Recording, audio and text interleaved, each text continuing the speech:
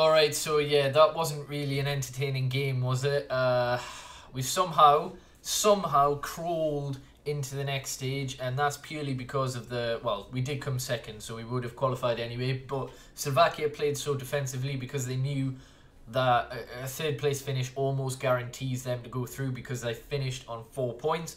So yeah, they went defensive. They played in their own half, and uh, it was terrible. We had chances. Sturridge had a chance. Vardy had a chance.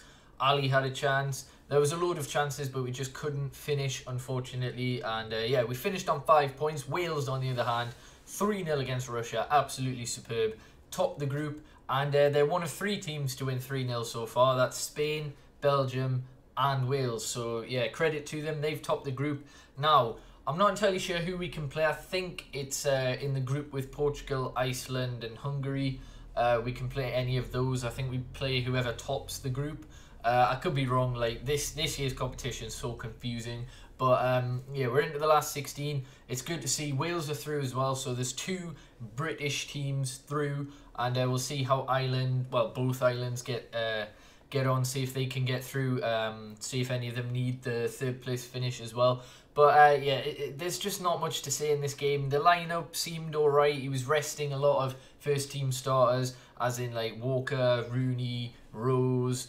Um, I think they were the main ones that were rested. Obviously, he replaced Kane, he replaced Sterling with uh, Vardy and Sturridge, which was a no-brainer. Um, Henderson played Paul.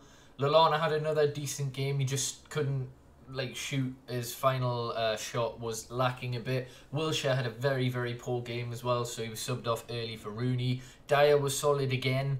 Um, Smalling nearly had an error where he uh, he headed it back, but it wasn't enough power. But luckily, uh, nothing came of it. Slovakia, literally, that was about the only chance. Like uh, Hamsik was kept quiet because they didn't want to win the game; they wanted to draw nil nil, and that's what happened. So it looks as though all three teams will go through Slovakia, England, and Wales. Obviously, England and Wales are fully confirmed, and Slovakia just need to wait for the groups to finish before it's basically announced that they're through as well. So, yeah, not too much to talk about this game. We're through, and let's just hope for better performances against teams that actually want to win as well.